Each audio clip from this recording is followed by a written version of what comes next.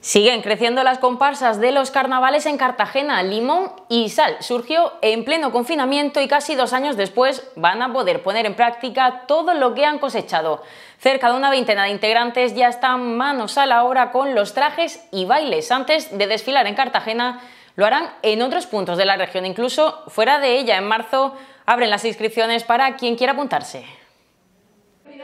Limón y Sal y no, no hay tequila. El limón es típico de Murcia y la sal porque somos muy salerosos. Llegan a los carnavales de este año esta comparsa que surgió en pleno confinamiento. Eh, pues nos decidimos un grupo de amigos que ya estábamos en otras comparsas a crear una comparsa nueva y darle eh, mayor vistosidad a, a, nuestros carnavales. Y ahora van con toda la ilusión porque a pesar de ser su primer año ya tienen su agenda cubierta de aquí a julio. De marzo tenemos todos los meses un par de desfiles. También nos, nos, llamaron desde el Ayuntamiento de Almería. Nos han llamado de muchos sitios, esperemos que nos llamen de más sitios. Donde nos llamen, ahí estamos. Canciones añadidas a la lista, pasos de baile pensados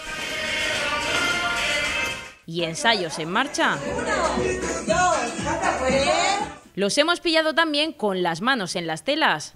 Pues ahora mismo quiero ponerle las lentejuelas a este, a este chal que lleva ya las plumas, pero vamos a ponerle unas lentejuelas por aquí para que se quede más, más, más vistoso. Me estoy peleando con la, con, con la pancarta. Queremos que se vea bien el nombre Limón y Sal y queremos que, que, la gente cuando nos vea venir sepa ya que algo bueno está por venir. Y es que aunque no nos han querido revelar su temática, nos han adelantado cuál ha sido su idea. Es una fantasía un poco guerrera. Van a ser unos trajes muy diferentes. Eso sí lo podemos decir. Este año sí es el suyo y el de todos los carnavaleros. Pues yo tengo muchas expectativas, las tengo por las nubes. Es como eh, salir de una realidad que te lo vas a pasar bien, que no tienes pudor a nada.